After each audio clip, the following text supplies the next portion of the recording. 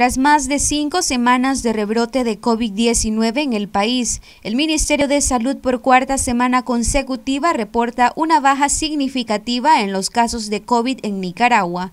Según el último informe publicado únicamente en medios afines al gobierno, el MINSA registra que en la semana del 19 al 26 de octubre se contabilizan 398 casos nuevos, es decir, 106 menos que la semana del 12 al 19 de octubre.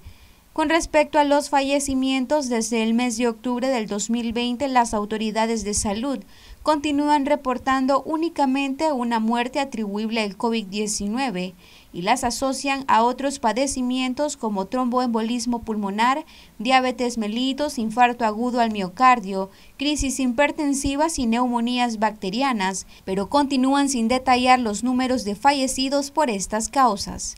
En tanto, el Independiente Observatorio Ciudadano COVID-19 Nicaragua reporta una baja en los casos y las muertes sospechosas o asociadas a la sintomatología, con 224 contagios hasta el 20 de octubre y 55 muertes.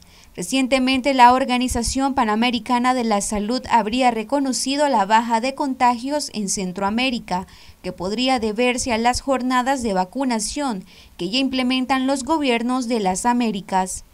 En sus informes, Nicaragua aún no reporta variantes que circulen en el país y se desconoce la totalidad de forma oficial sobre las personas inoculadas.